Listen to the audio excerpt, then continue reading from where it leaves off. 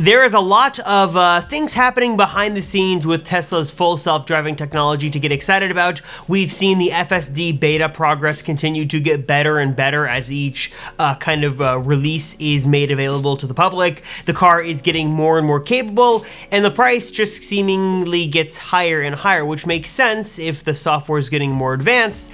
Uh, but also, that could quickly change really soon. According to Elon Musk himself, the long rumored full self-driving subscription service is happening very soon and should be coming in just like a matter of weeks, sometime in the early part of 2021.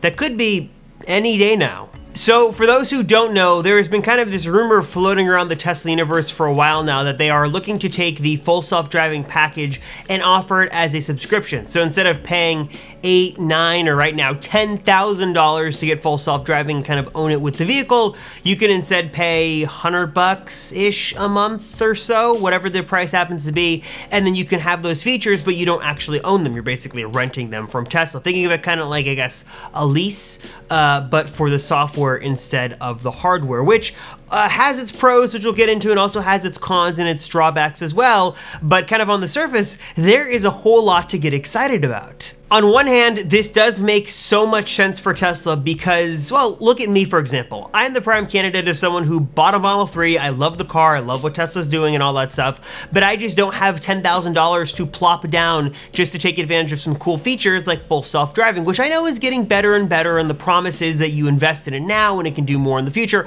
I get the whole idea, but I just can't commit $10,000 to a software package on my car.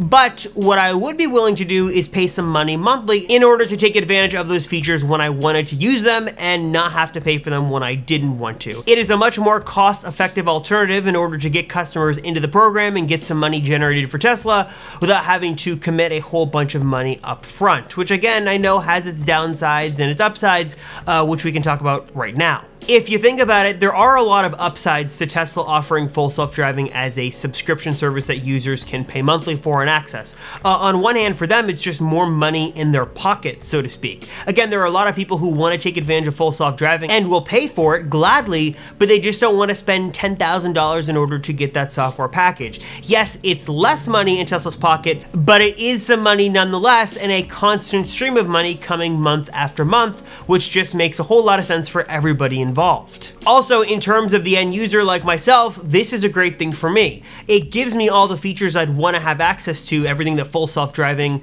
uh, users currently have, but also while not having to spend that kind of money, and it's a lot more flexible. It's cost effective, it's only costing me 100 bucks a month. I can use it when I want to and pay for it, and then not have to pay for it the months I don't want to use it. It just gives me ultimate control and flexibility, something I am all for, and just again, makes so much sense when you're talking about this extensive software package. But it can't all be upside, right? There's got to be some downsides and some reasons why Tesla wouldn't want everybody doing this and then not spending the $10,000 to buy full self-driving.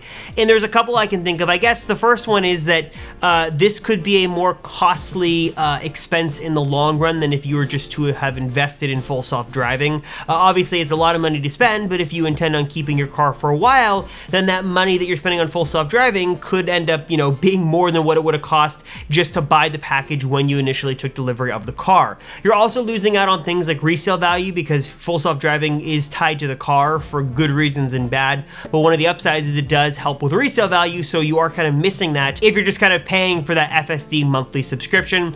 Also, I wouldn't be super surprised if Tesla did sort of a slower rollout of features to subscription uh, users than those who paid for it. I mean, they've got to have a way to differentiate who's doing what, and obviously the priority would be to those who have invested the money in the full amount than those who are just just paying on a monthly basis and are using it some months and not using it others. So I could see that maybe there are some features limited. I'm not sure if they would kind of cherry pick all or none of the features. Like I, I think that if you pay the hundred bucks or whatever it is per month for full self driving, you're gonna get all the features, but I think you're gonna get a slower rollout of new features as new things become available. It's gonna go probably first to those who uh, bought the full software than those who pay monthly for it. Kind of like what we have right now with software updates. Obviously, we know Tesla is favoring favoring those who have FSD over those who do not, so I think it'd be something similar here with this subscription model when that does become available. And I do have a couple of questions for you because I've seen so many people split on this idea. First off, how much would you pay for a full self-driving subscription service? I've seen the number float around 100 bucks a month seems to be kind of the going rate. Would you pay 250? Would you pay 50. Uh, I'm curious to hear what you think is the kind of the golden figure here on how much you would pay per month for FSD. But also I'm curious to know where you kind of fall on FSD as a subscription. Do you like the idea or not? Because I've seen a lot of people who are adamantly against this idea for a couple of big reasons, and I think most of those reasons have to do with how Tesla currently implements full self-driving.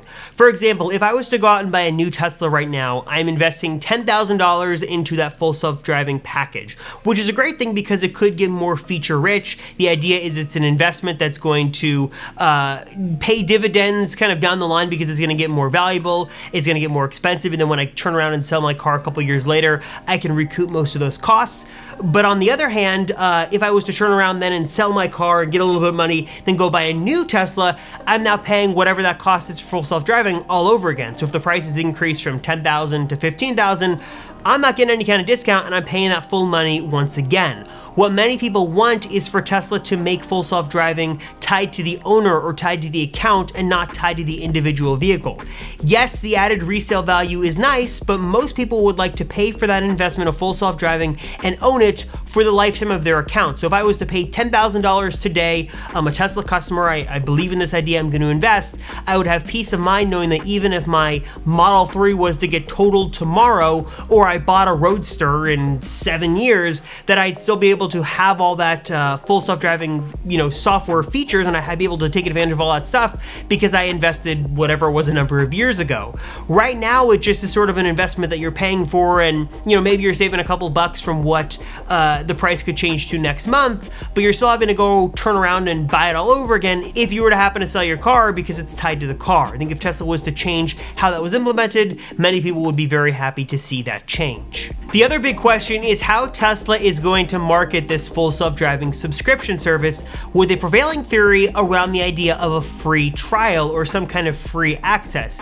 If you remember before, Tesla was offering users uh, basically kind of a free trial of some of the enhanced autopilot features, even I think autopilot itself when it was a paid feature, uh, to kind of entice users to pay that money and take advantage of those features and kind of get them hooked and then get them to pay. There's a good idea and a good chance that Tesla could do that again if full self-driving subscription became a thing. Maybe it's like premium connectivity where they're gonna give you a month free. You get full self-driving for free for a month or two months or whatever the time is, and then after that you can either pay or not use it. I think the idea of a full self-driving uh, free trial makes so much sense.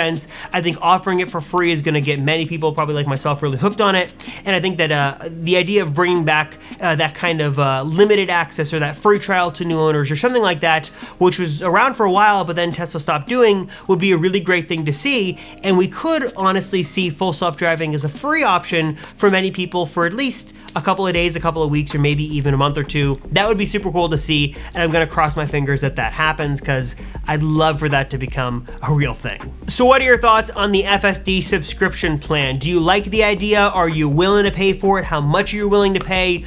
Or do you think that it's better off to be uh, better served as an investment and not some kind of subscription thing that people can use? Uh, you either have to pony up the cash or not have access to it at all. Curious to hear your thoughts, please leave them down below. As always, thank you guys so much for watching these uh, little videos. I sincerely appreciate it. I'm Robert Rosenfeld.